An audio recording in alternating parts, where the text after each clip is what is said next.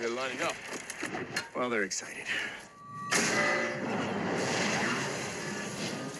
Welcome back to the Sons of Mjolnir, guys. Thanks for tuning in. If it's your first time, thanks for being here. I'm Gorgon. I'm Fat Thor. I'm Cap. And today we're going to be having our long awaited symbiote discussion. We are two volumes, that is 10 issues, into the brand new run from Ram V and Al Ewing that takes place after Donny Cates' incredible run that started in 2018. It's been a wild year getting through these first two volumes, but before we jump all into that and give you all a recap of what's led us up until now, we're going to answer a couple questions from Twitter. Okay, brother Ooh. Thor, do you have a favorite question out of today's today's question list? Honestly, I don't know if I have a favorite. They're all really good. Everyone really came with some real interesting ones. I will. I gotta. I guess I gotta go with um. Which one? Okay, so from Grimace, from our good friend Derek. It says, I mean, this is a pretty simple one, but it's fun. I think it'll be fun to discuss. It's just uh, if you could pair with any sim, who would it be? And I, I, don't know like i said i think that's an interesting one and there's so many different sims out there and different personalities. So i i want to hear especially gorgon i want to hear what sim you would bond to because i feel like my answer is like super boring just because it's just i'm not as knowledgeable as you. So i would love to get your take on that. I instinctually want to say venom because i love i love I love our guy, right? Mm-hmm. Um, but uh, I gotta say sleeper, if I'm being honest. Um, sleeper I, I is one felt of like the you most, were gonna say that. sleeper is one of the most recent symbiotes. For those of y'all who don't know, first appearance was in a comic called First Host. Um, it's a little mini on it.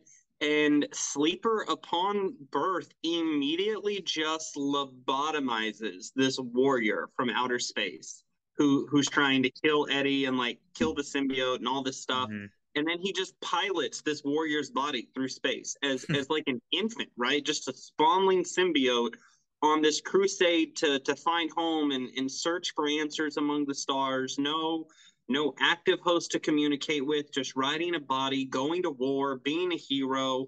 Uh, currently, after the events of Extreme Carnage, is bonded with a veteran named Hank. But Sleeper has uh, chemokinesis.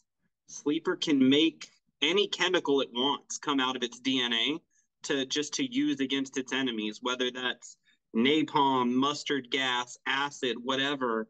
Uh, it's just there at their arsenal and disposal. Their Which camouflage is, so is, better than venoms. I they're just an absolute unit of say, a weapon. What what a cool ass power, right? I, right. I, it, it would have to be sleeper for me. Yeah, that's dope. Cat, what about you? What sim would you bond with? I was going to say sleeper too, but I okay. feel like I have to have another choice now. Um, hey, we're, we can not all be Everybody sleeper. can vote sleeper. Recognize the goat. uh, yeah, I'd probably go sleeper to be honest. Hell he, um, yeah. he seems more considerate without having a separate agenda to the rest of the symbiotes. Mm-hmm. And he you could be a mean? cat. Yeah, I love cats, man. Bro, cap and yellow and black would look sick. I'm just saying. Oh, I like it. I like it. Oh, yes, let's go. Kind of like the Midnight Suns. Yeah. Yes.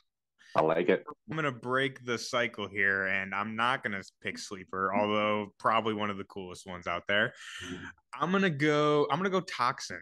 And I don't know why I'm going Toxin, other than he looks freaking cool, and I think that he his design is dope. So, oh yeah, thousandth of their line, you know.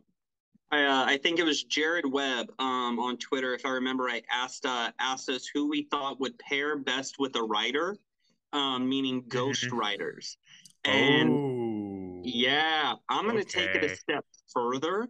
Okay, um, okay. Than that, I would say for me, in my humble opinion on it, I think the newest symbiote, Silence, would pair incredibly well with Kushala, Ooh. the spirit rider. Yeah. I, I the like spirit that. rider who can go in between multiple planes, mm-hmm. paired with the symbiote who has the ability to cut off other symbiotes from the hive and communicate through old hives, make new hive minds. Like, yeah, nah, that would be twisted. Yeah, I am 100% on board with that. I like it. I like it. That's pretty cool. Yeah. Honestly, I don't think I have a better one than that.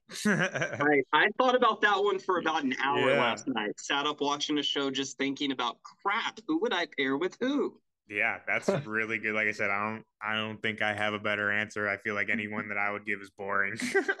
I well, I felt I'm- like it, it was gonna be you know Venom and Blaze, right? Like Mhm. I seems like the obvious solution. That's, that's exactly what I would say, but I feel like again that's kind of a obvious kind of boring answer. It's on the nose. yeah, exactly. I'm on the very- nose. Yeah, I'm very out of my um out of my field on Ghost Riders, so I have I'm mute on this one. Perfect. I love it. I love it. Although I would love to see uh forget like like Cap said, I'm not a Ghost Rider expert either, but uh the dude with the car, Robbie, right? Yep. Robbie Reyes, it would be sick for him not only to have a symbiote, but for a sim to get him that car. Ooh, baby. Scream. Ooh. Scream's already used to being protected by health from Hellfire, right? From running around with Andi Benton.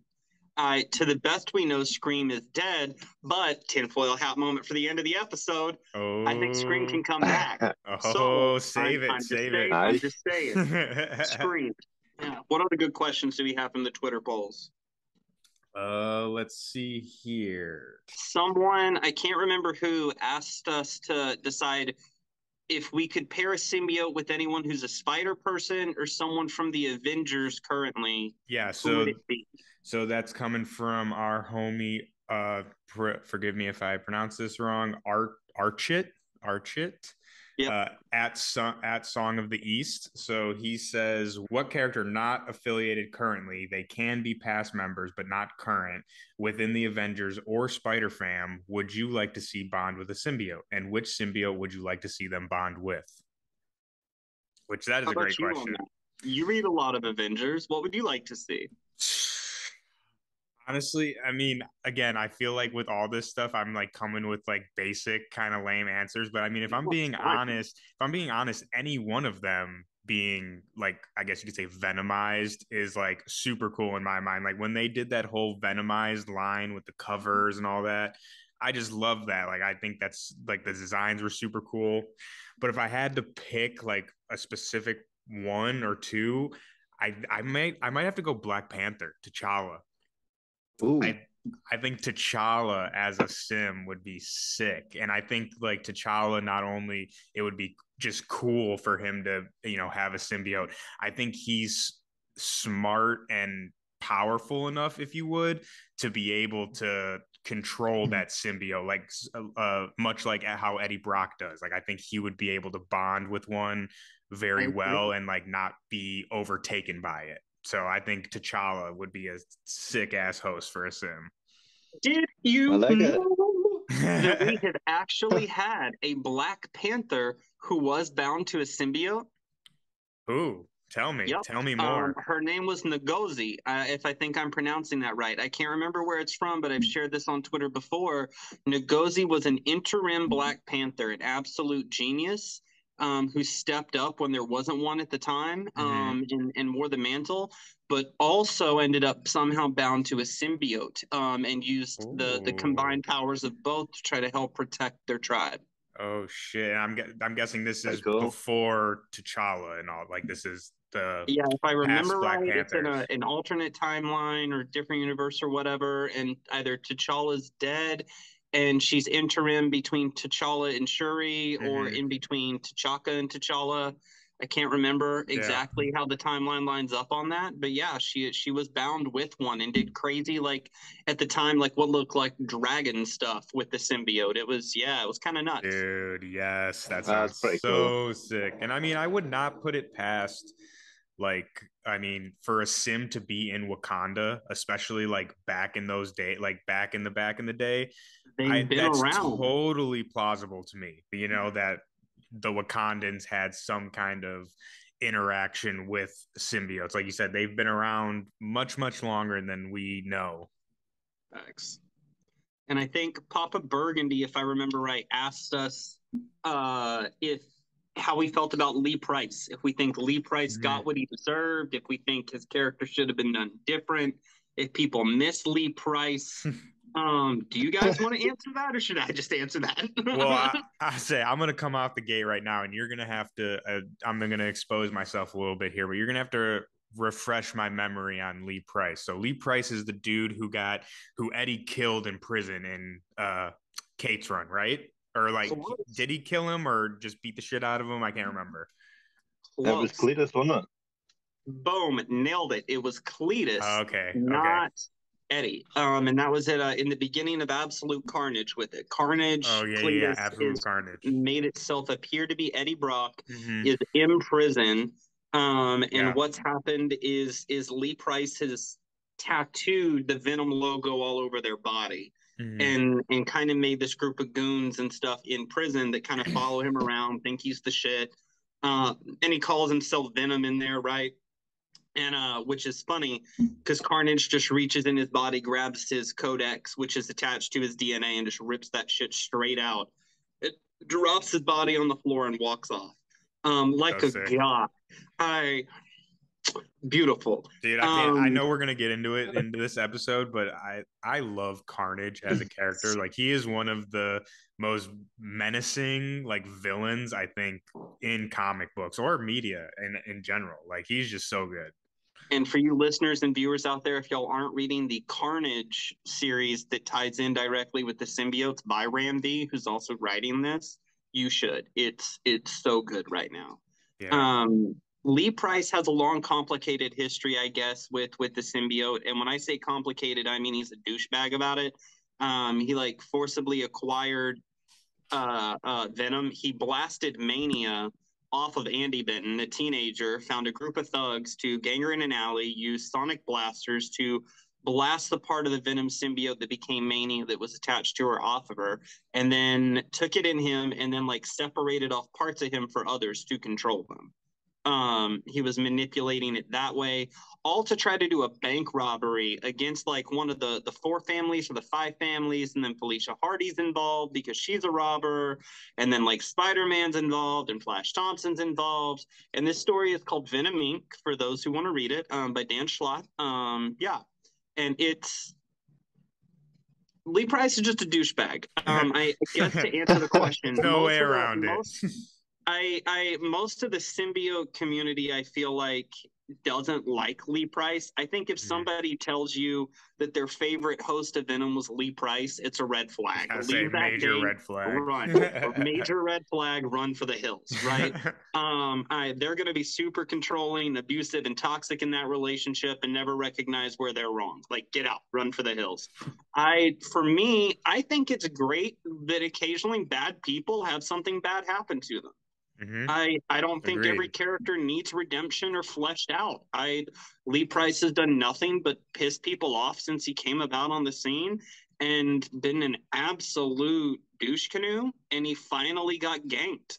I yeah, I maybe it's the carnage in me, but Yeah. sometimes I like seeing bad people have bad things happen to them. And you know what? He's a bad person who had a bad thing happen to him and we all benefited. Yeah, absolutely. And I totally agree with your point too of and I think a lot of people kind of fall into this I don't I don't necessarily want to say trap, but like you said not every character or villain needs redemption or not even redemption, but like I don't need to sympathize with every villain. Like to at least in my opinion, the best villains to me are there is no reason for what they do. They're just bad. They're just eat like Carnage. uh, Like we're talking about Carnage is a good example. I think you know, like yeah, you could be like, oh well, you know, as a child, he, you know, you get like a little bit of his childhood and whatnot. But in my mind, it's just what makes Carnage so scary and like such a good villain is like you were saying, he doesn't need redemption. He doesn't have redemption. He's just bad. He's bad. He's evil. And to me, like I don't want to see you know his redemption or anything like that i want him to be evil because you know to me that's what he is Well, it's So- like Red Skull, right? Would Yeah. they redeem Red Skull Cap? Definitely not. Yeah. yeah. Definitely not. It's a like um, the characters make um make for a better villain against the hero too. Like hmm it makes it harder to defeat the villain if they just don't have any remorse at all. I agree. And speaking of villains with no remorse, that's a perfect segue into today's episode on symbiotes. Starting off on the ends of King and Black is what you guys need to know before you pick up Ram V and Al Ewing's Carnage run. Now, Donny Cates, for those of y'all who haven't read Quick Recap, did what we are considering like the magnum opus of symbiote stories, right? The man, It's the bar right now for sure. it is the absolute top tier metric. What's going on with my lighting all of a sudden? You're glowing, Um, bro. Right? I'm I'm glowing. You got Yeah. a What happened? You look uh, an- that's a new one. angelic. Yeah, I don't know what happened there. I'm trying to fix it. Um, yeah, but Donny Cates basically made what is is the the the mark of perfection for symbiote stories. One of the craziest villains that led us here, and that's Knull and his impact on the current run.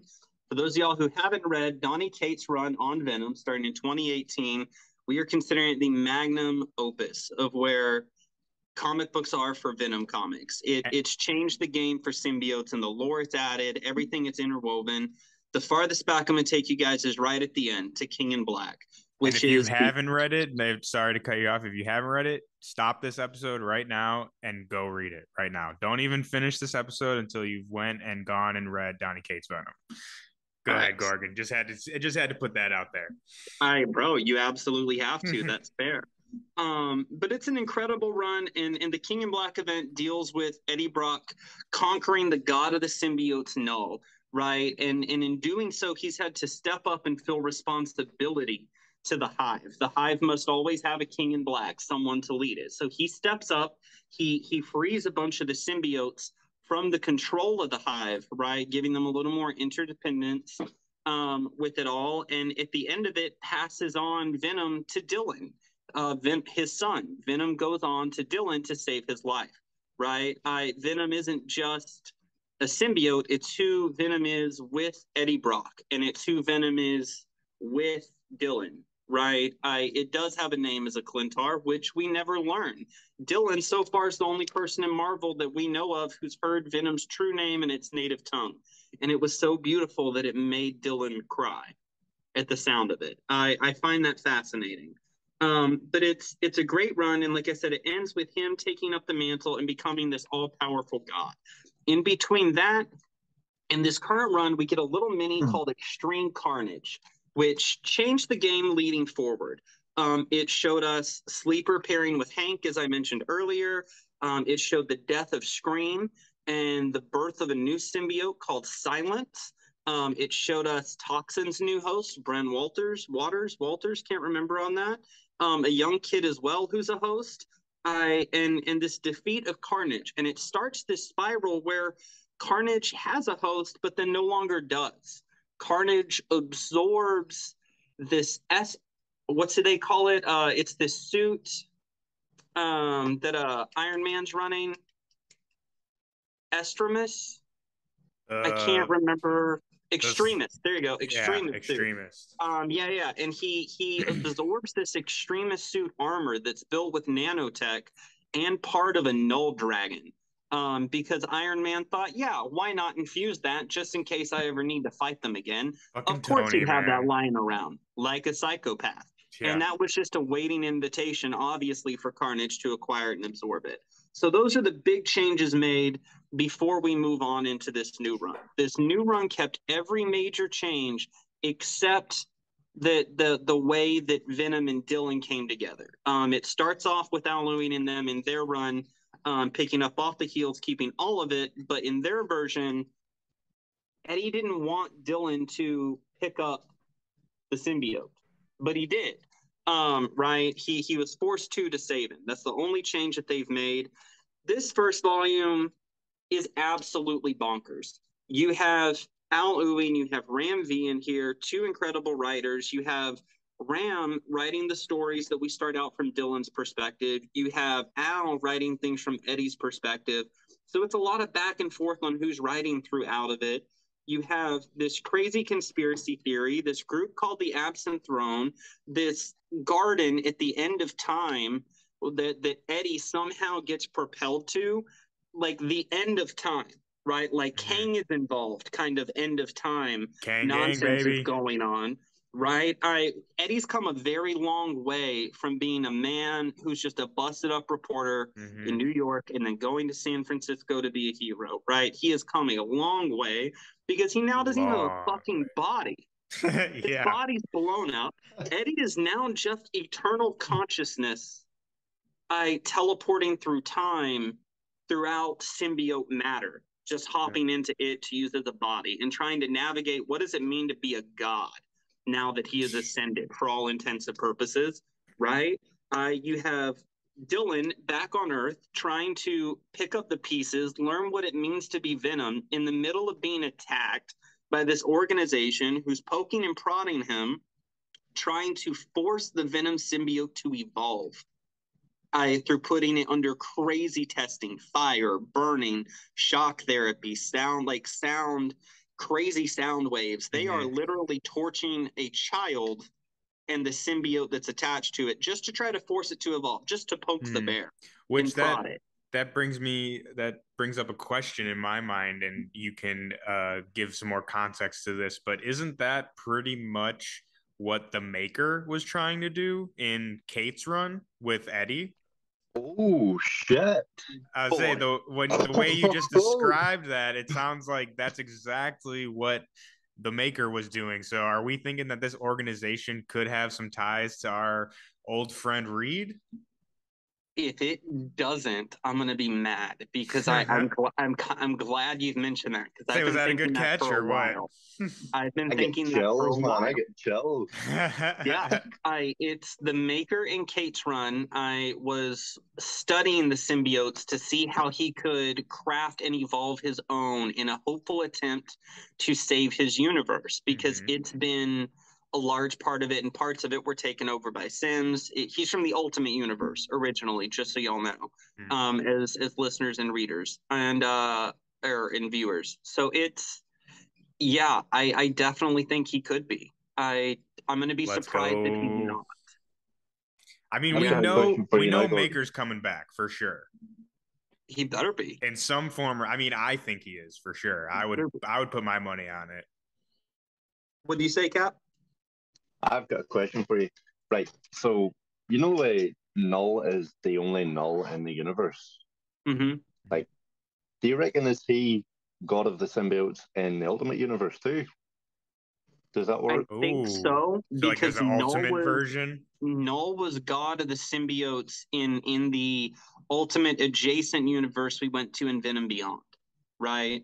Where Yeah, because there's only one Knull, isn't there? Like, Yeah, and There's that's no- that's kind of the consensus is that there's one Knull that reaches across all universes. We could be mm-hmm. wrong on that. There could be separate Knulls, but it it seems so far uh, the community seems to to agree that there's one Knull for all of mm-hmm. it. I um, kind of like that. we- I think. yeah, we could be wrong. There could be one in each, but it seems like it's the same Knull across all universes. Like there's one Kang, right? There are infinite Kangs, Yeah. but there is one Kang, Mhm. right? Yeah. And it's Yeah. uh I, I think it's a similar concept. I like that idea honestly. Like Knull, like you said, there's one Knull and he transcends universes. And I don't know. I I think that idea is really cool because it just kind of shows the power level of Knull. You get what I mean? Well, and Yeah. evidence for that, just so y'all have some backstory, is Knull existed before everything else in the known Marvel universe, Mhm. before it had to be killed, reset, turned into other universes, all the changes. He existed before all of it, and he has existed through all of it. So Right. did he? So did he exist before like eternity and entropy and all that? Who created eternity and entropy? Tell me. You tell me. The one It was the all. Eternals. Was it the Eternals? Was it the Celestials? Where'd they come from? I'd say, Neither. now, yeah, I'd say they created Celestials and Eternals. Okay. So I think he would be within the same boat of the fact that if they created Celestials and Celestials created all other life, I think he would fall in the same level of precursor being as eternity in them. Right? Okay. He existed in the blackness back when it was just the void. Okay. And and he's sleeping and all of a sudden he feels pain because Mhm. he believes the black, everything black is his, the void. And all of a sudden, these celestials are using light to carve life into the universe, making Mhm. planets, making making different the the three major races, right, and everything going after it out there. And he's just like, dude, what the fuck? I was sleeping. Who's in my home? Who's attacking me in my home? So Knull then goes on a rampage um creates a war against the the celestials which he Mhm. he's he's doing great in by the way Knowhere exists because of Knull Mhm. um Knull created all black the necrosword by pulling symbiotes his first children out of his body and he forged them into a sword um called all black the necro sword. And it said that part of the reason symbiotes today fear sound and fire can hurt them is because the earliest symbiotes remember the forge and the clang through their memory. Notice some of the newer ones don't get hurt by fire. They don't have that memory. Yeah man. Hell big yeah. great play Big brain. um, and so he takes that sword and goes into war and just starts slicing celestial heads off. And and eventually he acquires enough of them that, that he uses them when he attacks in King in Black. When he arrives, there's like a half dozen celestials that are just covered in symbiote matter at his disposal. Which was He one walks of the out of one things. piloting it like a fucking mech, right? Just like you really think you can challenge me? Like I pilot one of these for funsies on a Tuesday. Dude, that was so cool. That was probably my favorite moment of the King in Black event. Like that was just so cool. Same. Yeah, there's he was piloting Celestials, but he wasn't expecting Steve Rogers to be standing there. No, sir. He didn't account for Steve.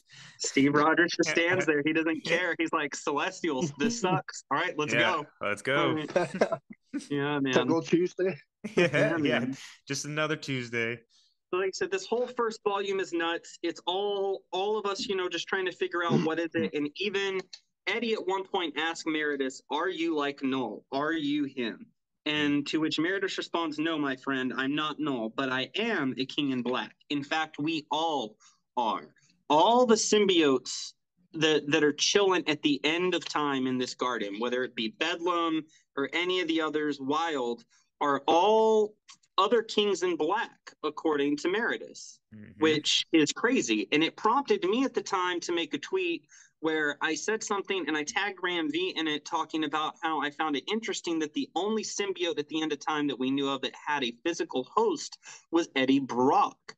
Where are the others? Because it's a major key that forced evolution that symbiotes is going on, right? Whether it's in the Carnage story, whether it's in the symbiote story, right? Mhm. That's a key, and it's a it's a it's a theme that that these symbiotes don't necessarily need a host right now either, right? Eddie is a host, but for all intents and purposes, is borderline a symbiote on his own, right? He's Yeah. more than both. Mhm. I he's he's a god. He's more than both, but is more symbiote than man. yeah. And and he doesn't necessarily need a host. He just needs something to pop into, Mhm. right? I whether it's dormant or not. Yeah. And I was like, hey, what's up with this? And he liked it, and he's like, y'all just wait and find out. Boy, did we find out. I This was saying, second we volume found has out. been nuts. This second volume has been about Eddie finding answers, Mhm. right, of what's going on in space. And the more we find out, the more confusing it gets. It's him trying to navigate through time and and learn how to do that through the time stream and learn his powers. It has Kang involved where he meets Kang and Kang is teaching him lessons. Uh, and he thinks Kang's his friend, but it turns out Kang is working on a ploy from Meridius. And then now we're going to get into huge spoilers for an issue just came out two weeks ago from us writing, from us recording this right now. Meridius is Eddie Brock. They are all Eddie Brock. They're I- all Eddie. They are all different versions of Eddie in time. And if you read issue 10 the way it's wrote with the art, you can pair it alongside issues like five on, right, through different scenes. And it lines up perfectly from different perspectives on what's Mhm. going to happen. It is the infinite Eddie Brock, and they are all different versions of Eddie at different like grieving cycles or processing emotion cycles, right? Wild is crazy. I and and broken. Bedlam is just insane and pure Brock rage. I in nine where we find out it's him killing his son. Mhm. I Dude, Yeah. such mind blowing reveal. And we were talking about this before we started recording, but we kind of called it but didn't call it at the same time when we when the I want to say it was like maybe 2 3 issues in I think when uh when the fake the fake Eddie came to Dylan and he was like, you know, that's not your dad or you know whatever the hell happens. Yeah. And we were and I was like, bro, I think Meridius might be Eddie, bro. I think he might be Eddie Brock and you're like, ah, I don't know, he's definitely related. You know, their uh, motivations are definitely aligned and like you said, we were both right, but we didn't know how deep that actually went. And like the reveal of all those other Sims being also being Eddie, but like you said, at different points of I guess his emotional state was my literally blew my mind. And like I said before, it really reminded me this whole these uh these 10 issues for for these two volumes really reminds me of like a really good like mystery series like you'd watch on Netflix or something where it's like every episode and or every issue you kind of get deeper into this mystery. And at first you're like dude i don't even know what's going on. Like you know i'm a little confused here. But once you get to 10 it just everything comes full circle. And like after reading 10 i was like oh my god i need to go back and read all of these issues over again. Like knowing what i know now it's just like i said it really just brings everything together for me. And i think for the people, uh, I want to say for the people that were kind of hesitant on this series and thought that the story was taking a little bit uh, longer to kind of get going, I really, really urge you to go back and read read through issue 10 and then come back and see how you feel after that because I think that Ram and everyone on the team they did a really great job of laying those breadcrumbs out and then having it all come full circle. And not only full circle but leaves it open too for many more things to be answered. Like it's not everything doesn't get answered in this issue, but it gives you enough answers to like I mean for lack of a better word, blow your freaking mind because I was like blown away. Yeah, Cap, what do you think? You just finished it. I um, there's exactly what Thor was saying. It's just insane. Like I wasn't expecting half it. I wasn't expecting Bedlam to be Eddie.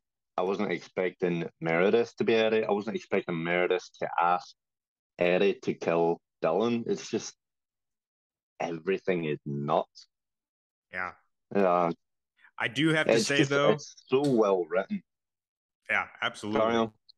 I was just gonna say just really quickly, I the one criticism I do have, and the one thing I am a little disappointed in, I want the chains back, baby. Come on, what happened to Venom with the chains? Like I love that. I thought that. I mean, I get it's like a tongue in cheek kind of thing, like with the whole you know '90s art and all that. But I thought that was awesome. That was it was funny. It was cool. I want to see the chains back.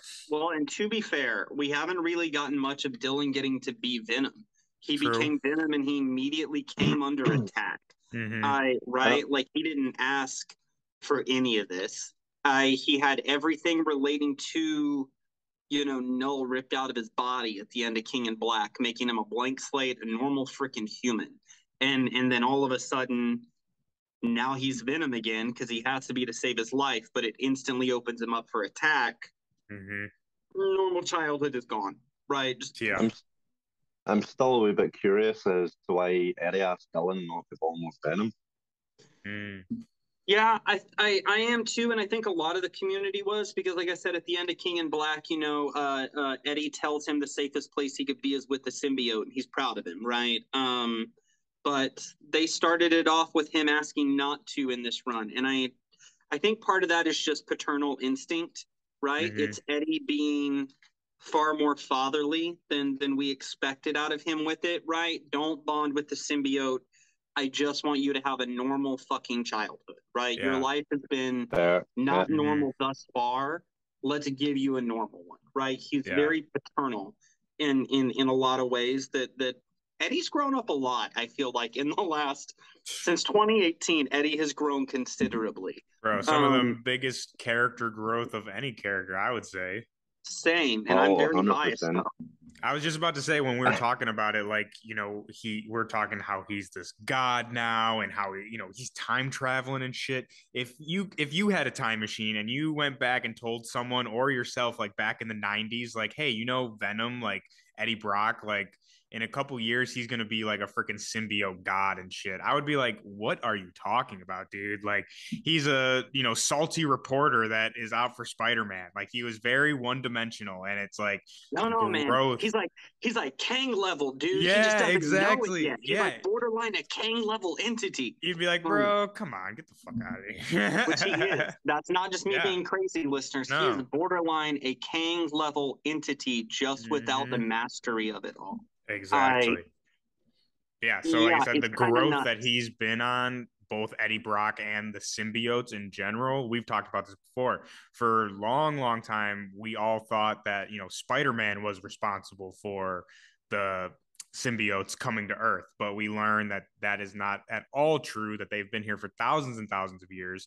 So, like I said, both Eddie and the symbiotes in general, I think, have had one of the biggest growths of like character character concept in modern comics, at least in my opinion. Well, and I think it was Archit earlier who asked about if there was someone on the Avengers we'd want to to bond with a symbiote or a spider mm-hmm. person. I don't want a spider person to have to be bound with a symbiote. Again, I don't think. I mm-hmm. I'm enjoying them being separated as a symbiote yeah. fan. Look how big the symbiotes have gotten now that they're not tied to the spider people and look how much weight has been lifted off their shoulders knowing that the Sp- spider-man peter parker didn't bring the symbiote or yeah. symbiotes were already here he's not responsible for that that's not a burden that they have to worry about i mm-hmm. yeah and I, it takes them out of that box. Like to me, yeah. keeping them with the Spider fam. Like, don't get me wrong, I love a good Venom Spidey. Like, it's a dream team for me. I we've talked about this before. I was a huge fan of the 90 animated series, which featured Venom heavily.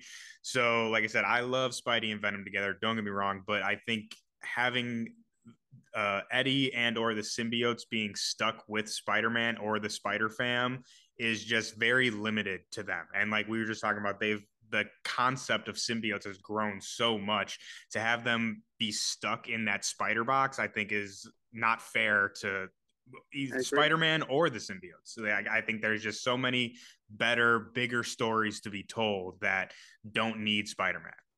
I I think we're in our birth of Bucky era. Um, yes. right? In in the hey, it's not your fault. Mm-hmm. Right? It's it's not your fault. Yeah, you were the winter soldier, but it's not your fault, right? We just had that whole moment with with Peter. Yeah, you brought Venom specifically here, but like, dude, they were already here. It's not your fault. Yeah. Right. Yeah. Mm-hmm. We're in our yeah, we're in our didn't, free the burdens. Didn't Wolverine have a interaction with symbiotes back in Vietnam? Yeah, they did. Um, in a in yeah. there's a, a one shot wrote called Venom um, by Donny Cates, and it's a story of Rex Strickland um, and how he was one of the first people experimented on by Shield. His entire squadron, mostly um, African Americans, by the way, who were experimented on by Nick Fury and Shield, and had parts of the symbiote dragon frozen in ice from Knull injected into their veins to try to change them and make super soldiers. Um, and that's what turned Rex Strickland into a symbiote warrior. Um, they called him the T Rex, um, and he was a savage man. Um, absolutely saved Wolverine's life. Um, Rex Strickland died in Vietnam. What came back was the symbiote riding his body and taking up arms as a soldier in the U.S. military and, and with Shield to to protect the country and the world. And, and do secret espionage stuff, meaning that, that Nick Fury's had someone who's a symbiote on his at his disposal and command since Vietnam, doing stuff for like at least 30 years and nobody knew about it.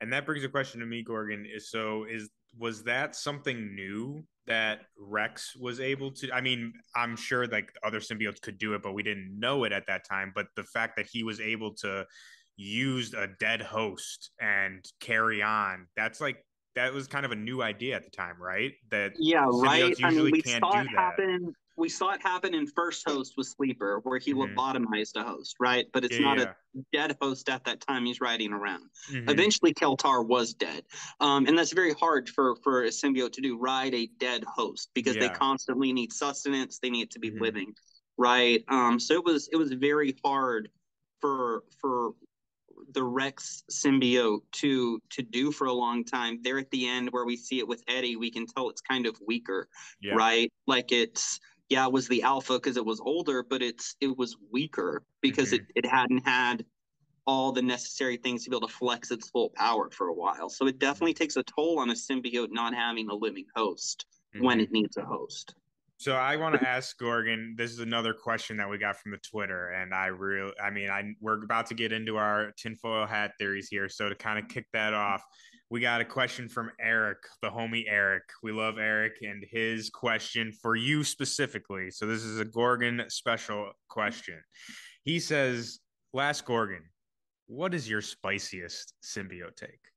Not only what is your spiciest take, but what is uh, what's your spiciest take that you think shouldn't be spicy? Like most people think that it's kind of a hot take, but you think it shouldn't be.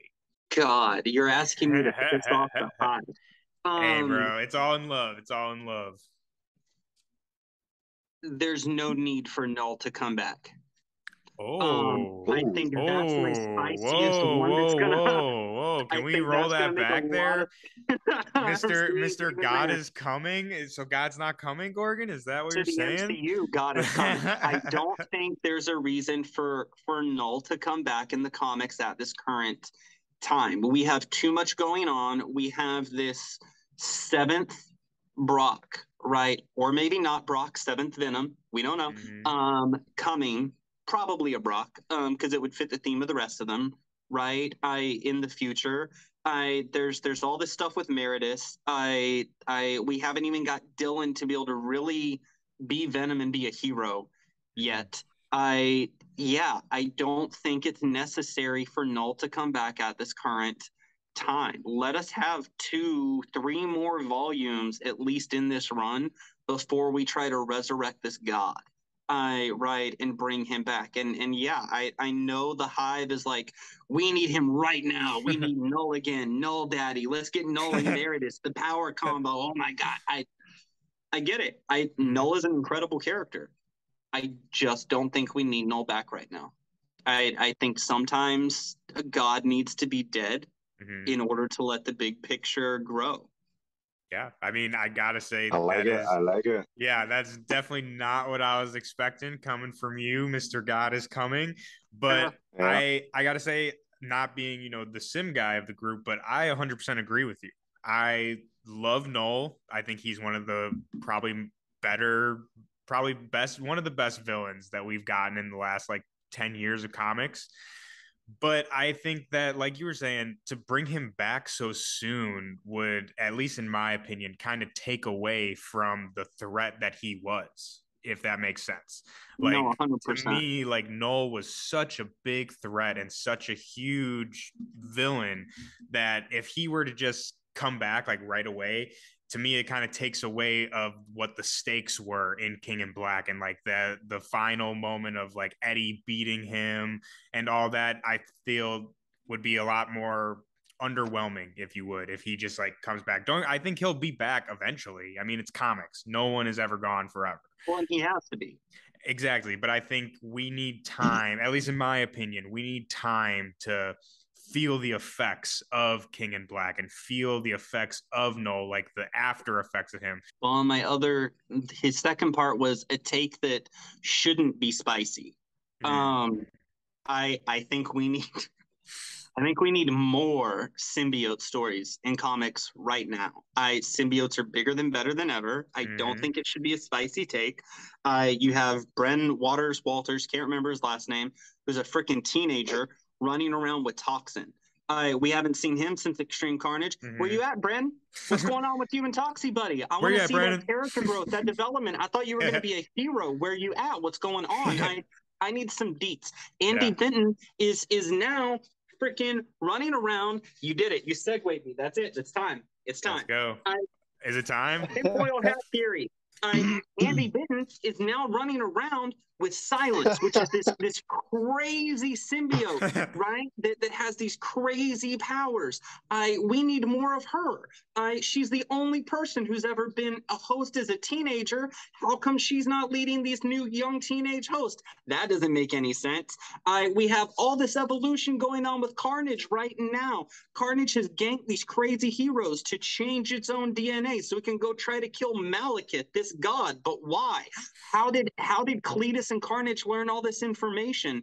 Cletus exists outside of Carnage now as its own symbiote. There's like two Carnages running around, right? If that can happen and we thought he was dead, how come we can't have have Scream come back alive even if we thought she was dead? Let's give Scream another host. Let's give Toxin his run. What happened with Agony and Gemma? Right? They ran off to go do crazy stuff in Villains for Hire. Where are they now? I have a lot of questions. I need more symbiotes. Symbiotes are taking over. Let them take over. Yes. I, we're about to get Sleeper back with Hank, right? Ideally, as the host in the very next issue. So we have Sleeper. We have a host with him that wasn't even aware it was a host, by the way. That's crazy, right? That Sleeper didn't even make sure Hank knew that he was a host to this thing. It's just chaos. I need a little bit more structure in my chaos, and the only solution is more chaos. Yes, yes, everything. yes to everything you just said. I am on board. Let's go.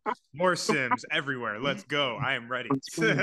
I, they say, you know, we got a cover that looks like a Codex is coming back, and and that has yes. the hive really just blown super shocked right now. I because it's we thought Codex was something that only happened if Knull succeeded Mhm. and Dylan ascended, right? Well, and it's it's a variant cover, so we don't know if Codex is actually coming back because it's just a variant cover, right? Variants can mean anything in the just land of fun. comics, but it's from Ryan Stegman, and it's from and it it's it's newer art that we haven't seen for Codex wielding all Mhm. black the Necro sword. I was just about to say, and he's wielding all black, which he never did in the run, right? Correct. I that that was the end goal. So it's the hive is kind of shooken up right now because if Codex can come, maybe maybe it was inevitable, right? Maybe the Mhm. trade-off was always going to be either Dylan ascends and becomes Codex or Eddie ascends and becomes Meridius, right? That the Mhm. trade-off was inevitable. It was going to go one of two ways. Uh, regardless of how we wanted it, Carnage was going to take over the world and had to be stopped. And in stopping him, it meant that Knull was coming. Yeah. So then that left only two options either Knull wins or Knull loses. But what's the fallout? And it feels like the fallout was inevitable bad options. We Mhm. get Codex or we get Meridius. But in all this timey wimey teleport through time, host new body, crazy power stuff, maybe there's a chance that there's a, a, a- a form of Dylan that still becomes Codex that we could see up here. Maybe that is Mhm. the seventh. I don't know. Well, I just had an idea, and let me know if So did Cap. I would say, Cap, you go first. I want to hear yours. I um right. So you know the way the six Brocks that are in the garden are all Eri, hmm and this seventh Brock isn't in the garden. What if it's not Eddie, but it's Dylan?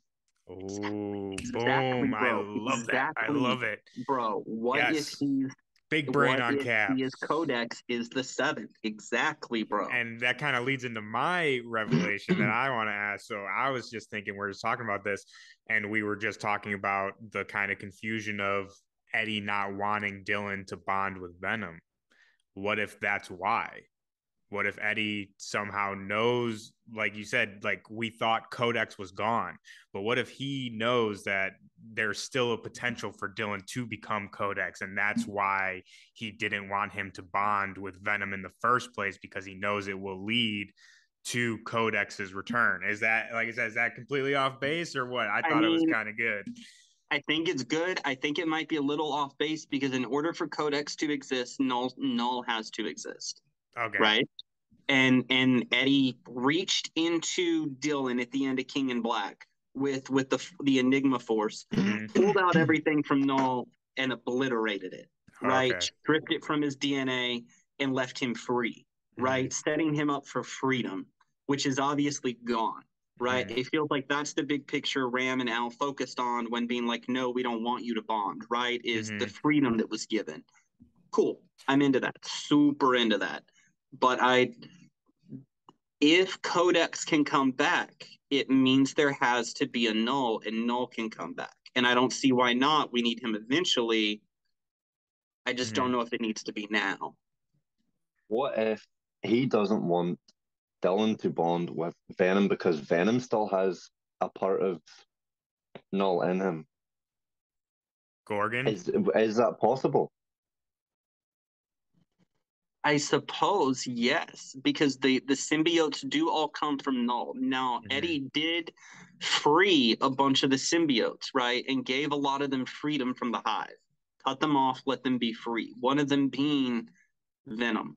Mhm. Um, so as much as I want to say no, what we've learned about empty hives and hive adjacent things from Silence is a lot from the Mhm. very little we've had of her.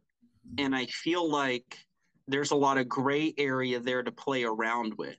Mhm. I I almost wonder if Silence's existence will somehow be what spurs a recurgence of Knull because of what she can do in the gray areas in between, right? Mhm. Yeah. Okay. I I tinfoil hat again. Fitting is the future of symbiotes, man. Her and Silence are crazy and need to be more explored. I Mhm. why are we not doing this? I Ram, Come on, Ram. Ram, this, please. I, I love you. It took you two volumes to give me Sleeper and Hank, and I have been so patient. And I will be patient for two more volumes if it means I get more Andi and Silence content. But I need it. I need it. Straight to the veins. Just I hook them need. Just hook them up, Ram. My God. But that Yeah, kind of uh, that kind of leads me to another question, which again, this is more so just asking your explanation on it, I guess. So you were just saying like Codex cannot exist without Knull, right? So and since Knull is defeated, then like w- where it stands right now, we shouldn't have a Codex, right? Correct. So my question though is, I, I like I know that Eddie isn't Knull. Like they're you know no, like we just were talking about Knull is like a primal force of the universe almost, but Eddie is King in Black now. So would it be possible? Like I said, I don't really understand the whole how like Knull and Codex like how you know one has to be there for the other. But since Eddie is the King in Black, could he be the one? To transform Dylan into Codex, I guess is what I'm saying, and it would No, kind you're of right. You're you're exactly right. I Yeah, think and it you're could right. I don't think we need knull for Codex or And- knull for Codex. I Yeah. think you're exactly right. and I, the idea too age- being that like like we see in this volume at least in my opinion it seems like a big theme of it is eddie is doing this to himself like he's not doing this to himself like purposely but it like at the end of issue 10 I mean, he's he like is. exactly he and he's like doing this to himself. but you get what I mean, and I think it would be cool idea if, like you said, if we do get Codex and to learn that Eddie is also responsible for that. Like he's been responsible for all of this, and he. Oh, you're and, like, right. and it would I think add to exactly his like right. kind of. It would add to his guilt of what he's done to Dylan, and like I feel like a big theme of this arc has been like, how do I save Dylan? Like, how do I keep him safe? And then we realize he could never keep him safe because it was him all along that was putting him through this. I think you're right. I don't think we need knull. I think it was we needed the king in black in order to make Codex, right? You Mhm. needed the king in black to give Dylan some power so he could ascend and, and do his thing, right? And Mhm. and have his connection to the to the God hive Yeah. to do all of his nonsense. Mhm. Right. I yeah. I I think you're exactly right. I don't I think you're right. I don't think we need knull to make a codex. I think we just need that connection back to the God Hive and extra Yeah. power given to Dylan, and theoretically any King in Black could do that. Why would Eddie do that? He didn't want him to, but what if it's not Eddie Eddie, it's a different Eddie that does it. Exactly. Right? Meridius.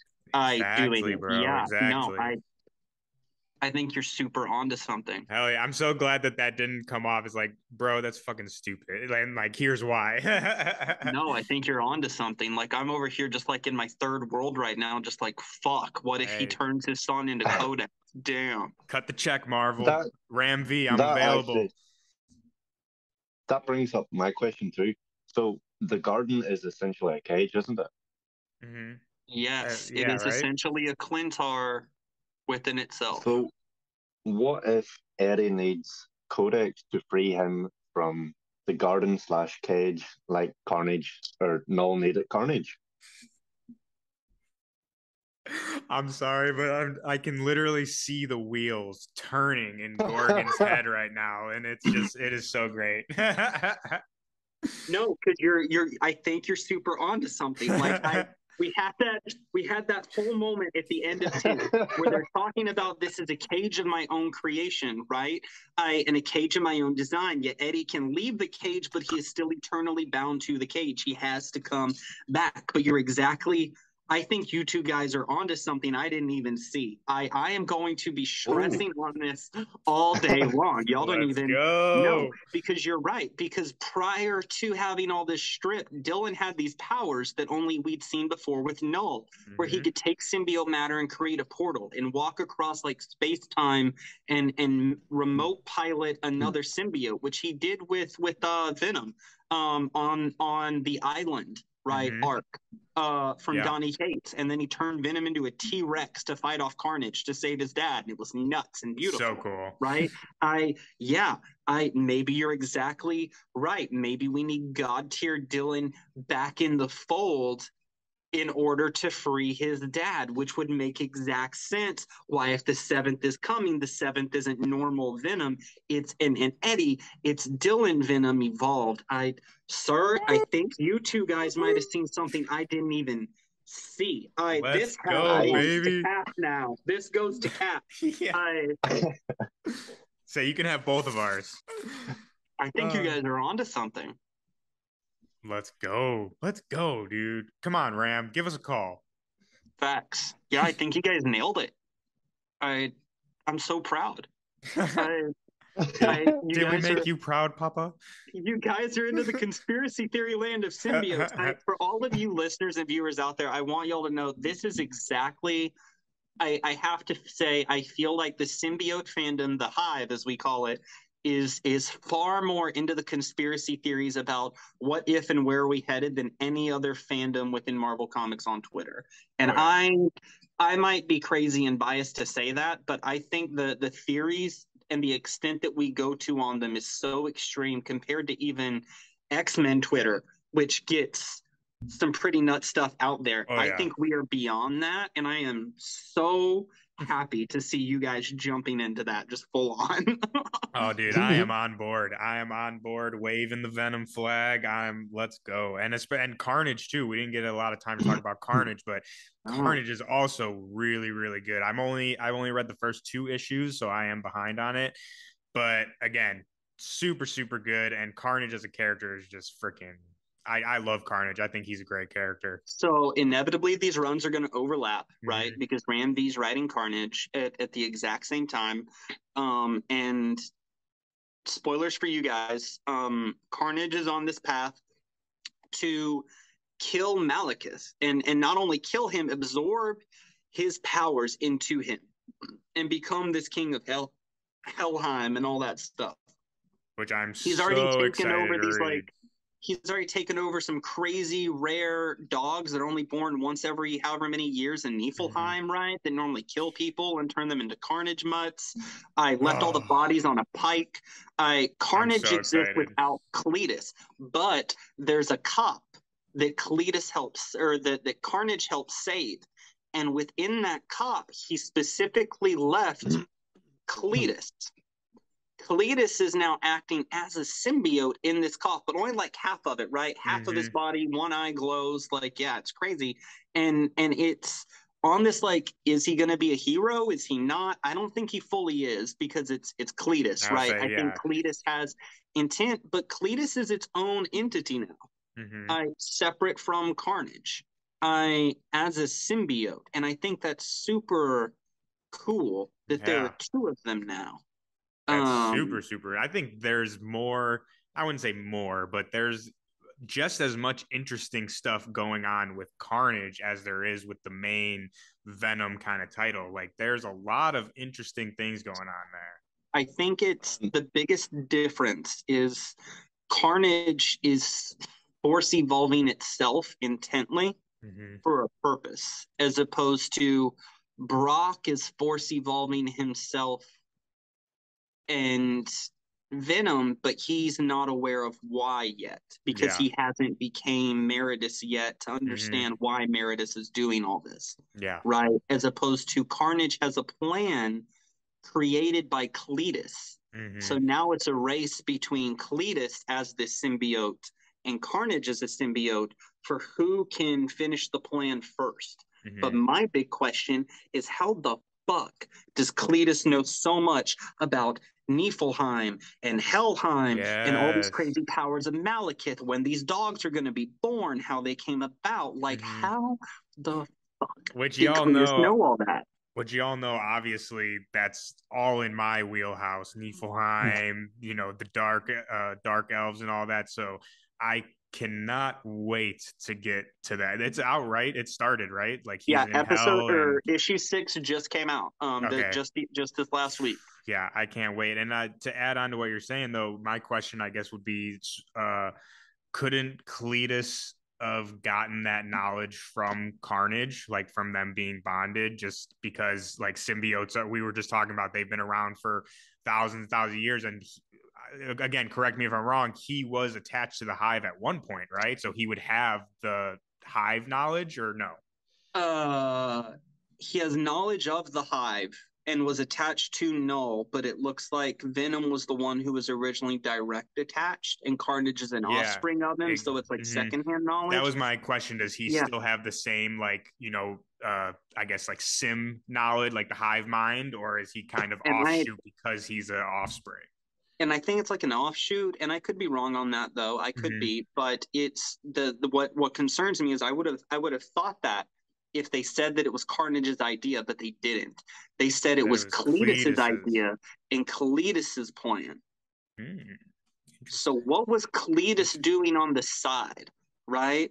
I I feel like Ram's setting up for something big, the same way Mhm. he's done here in Venom, and I feel like the two are eventually going to overlap. You just mentioned yourself that this is all more in Thorland with your wheelhouse with Niflheim and Mhm. stuff.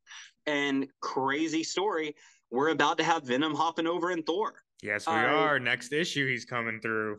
So I feel like, and I could be just completely bonkers here, there's a chance that that Donny Cates' current Thor line with Venom is going to cross into this land of what's happening with Carnage and Malekith right now. Oh, I, I I- mean, there's no doubt in my mind that it will. It to me, it just completely makes sense. Like, how it could makes you not? sense. Yeah, I would say in my Um, mind, it's like, how do you not get to that point? Cinnamon boats are just get crazy, man. I I love I- cinnamon boats. I've been telling the cinnamon boats, god damn it. Um, I, cinnamon cinnamon boats crunch now part of every Goo Monster's delicious nutritious breakfast. Gorgon approved. Yeah, man. I yeah, it's uh, I've been saying for a while they're bigger than ever and better than ever, and I think they really are, and it's very in your face. We have the Savage Avengers run going on right now with David Pepose writing it, an incredible run, an incredible writer, and it's he's got Flash Thompson from his resurrection, and he's kept the fact that he can turn into a dragon form Mhm. um from from his rebirth which is super cool yeah. um, and he's added on to the anti-venom symbiote lore because it would make sense that this anti-venom came about through his memory and codex in his blood, but the symbiotes that did it were active conscious symbiotes that joined with him, as opposed to before his anti-venom wasn't sentient and conscious, right? It was just a suit Mhm. um, attached to his reactions. I find it fascinating that since then it's now borderline sentient. They got thrown back in time and it made it go feral and in a feral state like we saw in the past. And now that they're back in the future, he's he's got back to his agent venom form. And it's it's interesting that that his symbiote's a little more reactive with him and conscious than it was before. I like what he's doing. I Mhm. feel like there will come a time where they're all back together. Yeah. But like I said, listeners and watchers, symbiotes are bigger and better than ever. I Eddie Brock is God and doing timey wimey stuff next to Kang, and there's different versions of him throughout time. We are in the infinite Eddie Brock era. I if you guys have been sleeping on this run, please don't because it Yes. has us losing our mind just trying to even comprehend it to have a, a, a coherent podcast about it in a conversation with you guys right now i can only imagine and what it would do to you guys at home to sit down and just binge these two volumes for the first time Yeah, absolutely. I couldn't have said it any better myself, Gorgon. The future of Sims, in my opinion, is brighter than it ever has been. They are getting deeper and more complex in the best ways possible, in my opinion. And I just, I'm so excited to see what's to come. It just feels like they they have the potential to touch every corner of the Marvel universe, and to me, that is just super exciting. I think what Ram is doing is awesome. The mystery he's setting up and laying out for us is very compelling. Like we talked about, Cates obviously is the you know kind of gold standard. I but I think he is adding to that extremely well. Uh, The whole team, Ram, the other writers, artists, uh, they're continuing this story very well. And like you said, opening it in a way to where I think the sky's the limit, really, for The Sims at this point. I before we end off on this, Cap, of the three of us, I think when we all met, you probably had the least experience reading symbiotes of the three of us. Um, yep, one hundred percent. I feel like we have drug you into the fold and thrown you into the fires of symbiote land. After reading all of Cates' parts of Extreme Carnage, jumping through into this, how are you, as someone who were, who who wasn't reading symbiotes before, how are you feeling about it all, reading it now? I um I still feel like I'm very in over my head, but at the same time I'm very excited to see where it goes. Like I have a bit of knowledge on Venom and symbiotes from early Spider-Man days, back Mhm. whenever I was younger, the '95s cartoon, Ultimate Spider-Man stuff like that. Mhm. I have a wee tiny bit of knowledge based on those, but at the same time, trying to catch up and having so much lore is incredible. And seeing where, like, seeing even just how far it's come from Cates' run to now, it's just leaps and bounds, and it's it's very very fascinating. Hell yeah. If it makes you feel better, all of us who've been reading them have the exact same. We feel like we're in over our heads. Uh, every one of us. Yeah, man. I think that's that's the struggle, right? That binds us and brings us together. I think that's the story of the symbiotes in itself is something we all share as readers, right? I that that Cates really nailed home. Even when we feel that we're in over our heads, it's okay because we're always stronger when we're not alone, and we are never alone. Hell yeah. Like that it. is beautiful. I think we I think with that we got to end the episode because I don't think we can get a more beautiful sentence than that. Thank you guys for coming out and listening to us today, talk about symbiotes and just nerd out and putting up with our tinfoil hat nonsense. We really appreciate you guys at home. Um, thank you all for following us on all that you do, and we look forward to hanging out with you guys next time. yeah, absolutely. If you guys like this video, please drop us a like, subscribe to the channel, and leave us comments too. Let us know what are your crazy sim theories? What are some of your favorite symbiote stories, favorite Venom stories? Please let us know. We love talking about it. We will for sure respond to all the comments, and we're always are looking to nerd out for you guys. So again, thank you guys for uh, tuning in, and we'll see you guys all next time. Been wonderful, guys. I can do this all day.